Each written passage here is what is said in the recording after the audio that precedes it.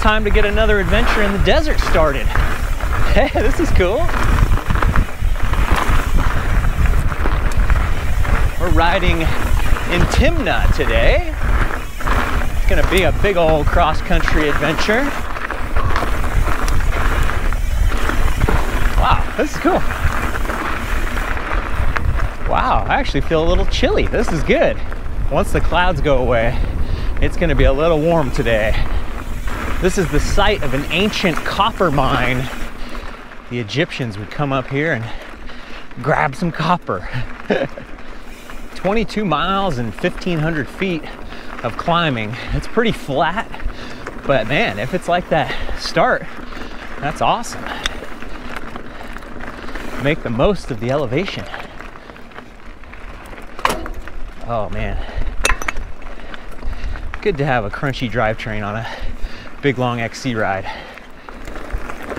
And of course, this is our local guide Tal leading the way. Wow, when that sun comes out, it just lights everything up. That is cool.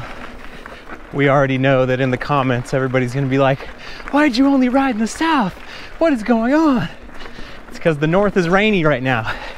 Can't be riding in the rain. South is so beautiful. These trails have been amazing so far.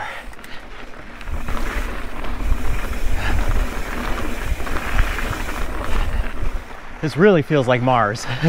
All the other ones felt like Mars too, but this really feels like Mars. Yeah, this one has a feeling like it's a different place. They rent hardtails at the visitor center. They'll give you a helmet and a bike and you'll be on your way. And you know, the route we're doing is pretty long, but there's other road cutoffs that if unsuspecting tourists get in over their head, they can kind of come back on the road and finish their ride early.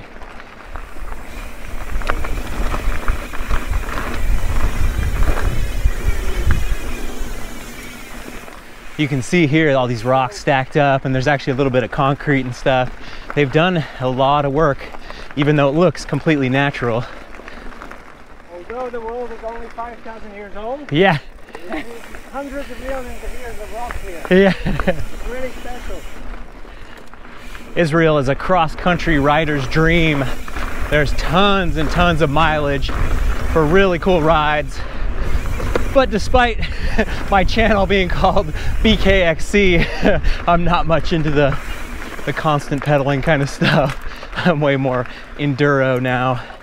And at first I called my channel BKXC because where I'm from, Northern California, cross country races were just big climbs and big descents. And you're going on this big adventure. But as I traveled more, I realized that uh, everywhere else in the world, cross country is just kind of like this up and down, up and down. So now I'm BK across the countries instead of BK cross country.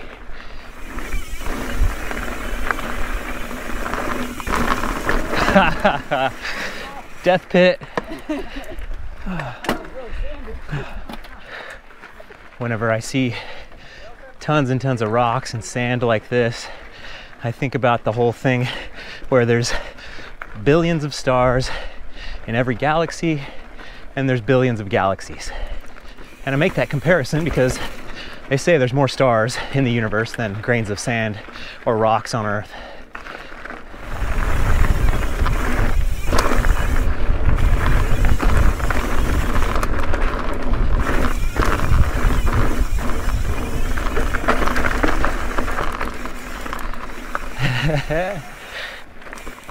Dirt surfer. Wow. This is pretty cool.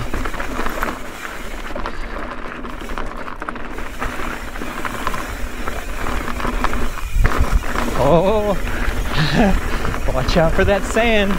I see the holes. Oh. Where others have fallen.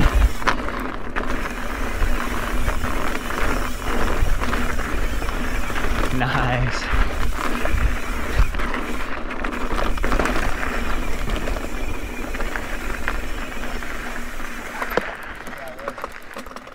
We've got a little archaeological site we're going to check out. So this is an example of a mine shaft that you would crawl into. These are the stairs to get up. How much? I guess you drop the copper down little by little. Tal said this is the least dusty he's ever had it in these desert rides. Pretty lucky. The big rain came just before I arrived and we get the benefit, we get the reward.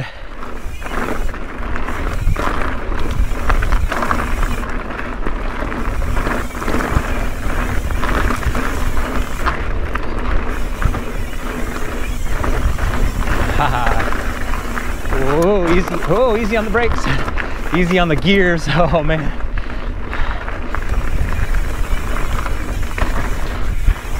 Cool.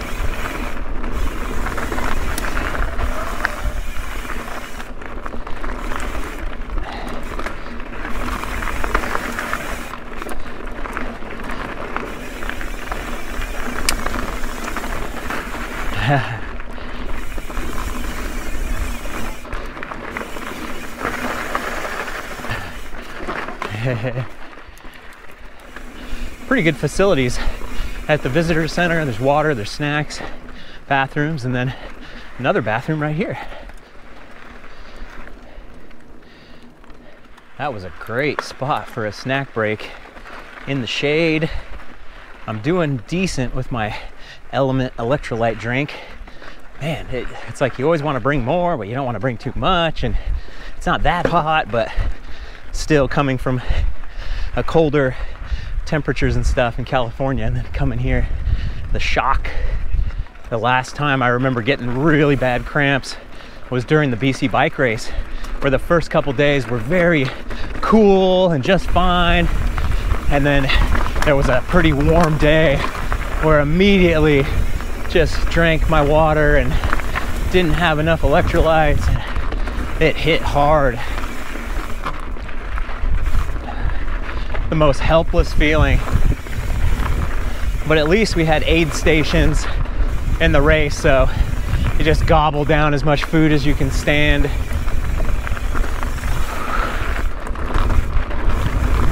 Ooh, yeah. Go. Oh, that's pretty good berm.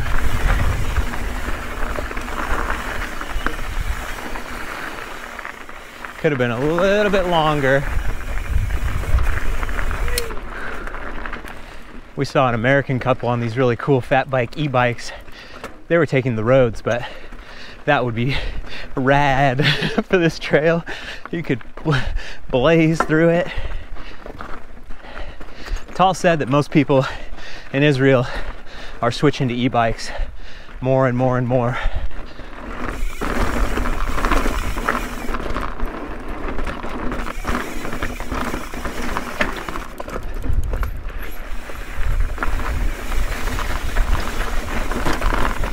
Whoa!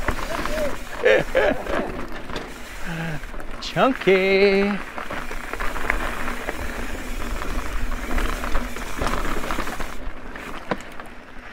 Man, I'm glad we did this. This is very cool.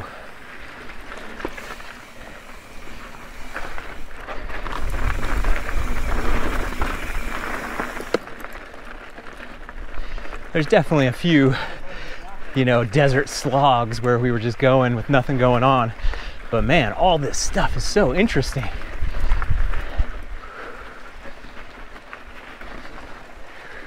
Ooh.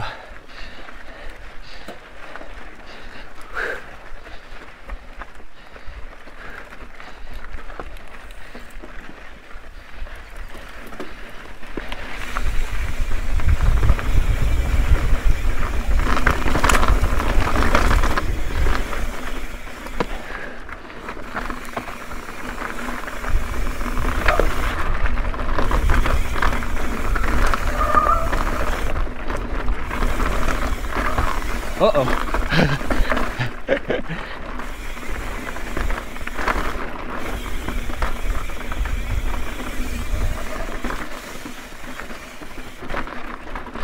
Oh man, a little hard to see the trail on here.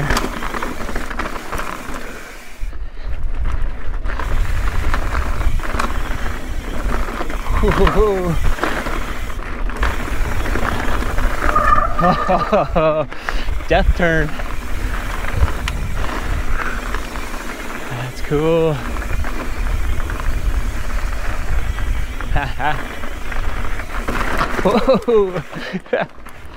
This is an adventure.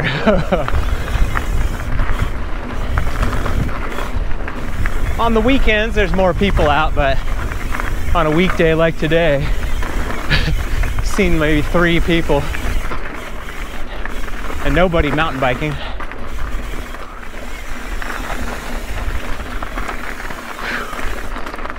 Sandy!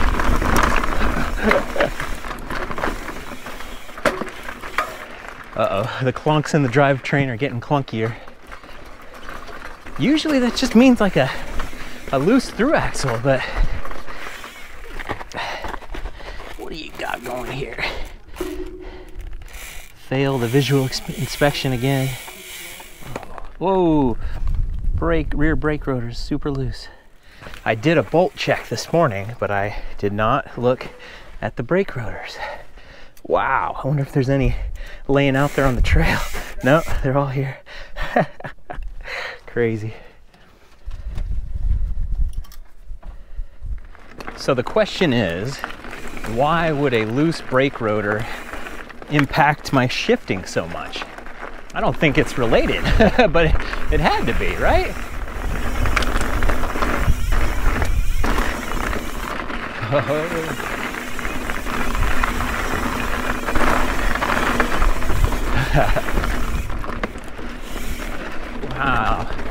Whoa.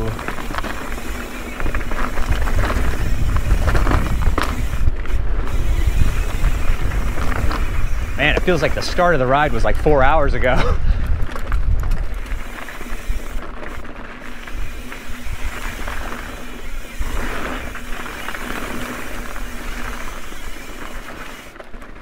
Was saying that if you build a trail like this in the desert, it's gonna be here for hundreds of years.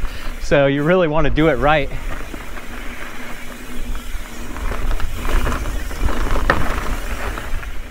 He said there was a trail that was built a few years ago in the north that at first everybody was excited about, wow, new trail.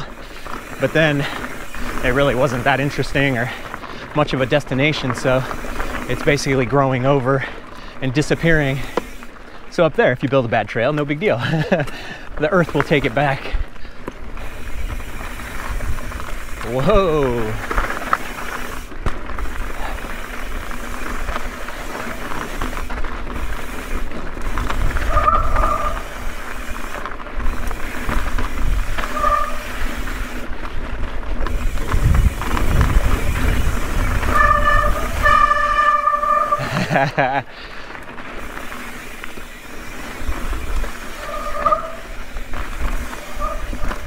build berms better. Or no, build berms bigger. There we go. That's my platform. I'm running for president in 2024. Cool. Whoa, the volcanic. Haha.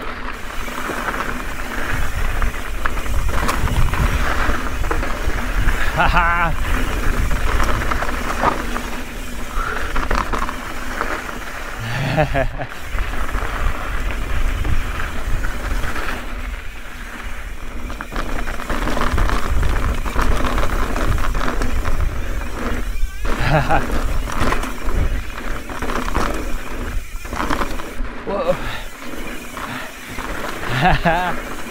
Man, lots of cool sections like that. feeling the heat now. We've been out of the clouds for a while.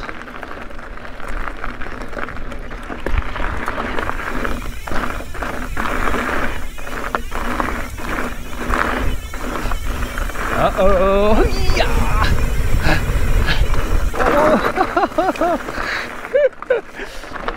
That's never happened before. Or to every single person riding the trail.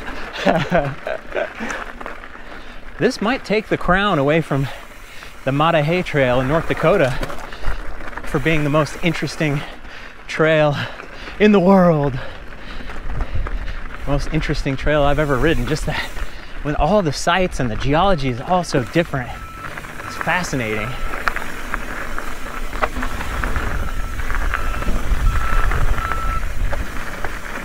So many places are just trees, and that's you know all you see. You're in the forest, you see the trees. Okay, we made it to the lake. I think it's more of a pond than a lake, but hey, it's Israel. There's not that many lakes. We rolled into this oasis here and I did a water refill and grabbed a delicious ice cream. And then Mike and I both got a little coaching session from Tal. There's always something that we can work on to make us better riders. This was a great exercise showing how you don't have a strong base if you keep your heels up, but if you keep your heels down, you have a lot more leverage against the bike and it keeps you solid. Tal is such a good coach. He's helped more than a thousand people get better on the mountain bike at this point.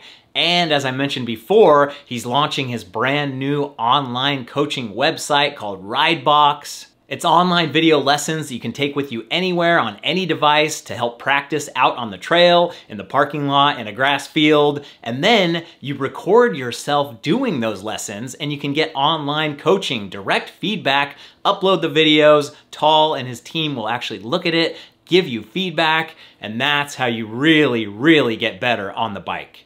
Ridebox did not sponsor this video, but Tal put together this entire Israel trip, so I thought a shout out was well deserved.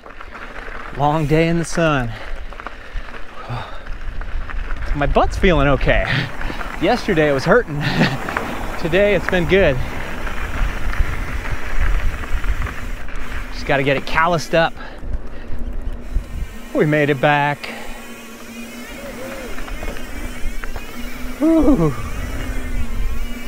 After that big old ride, we all required a big old meal and we got some fantastic shawarma. First time I've ever had it. I think it's just a big old wrap with meat and veggies and just all kinds of good stuff in there. It was just a random roadside spot and it was fantastic.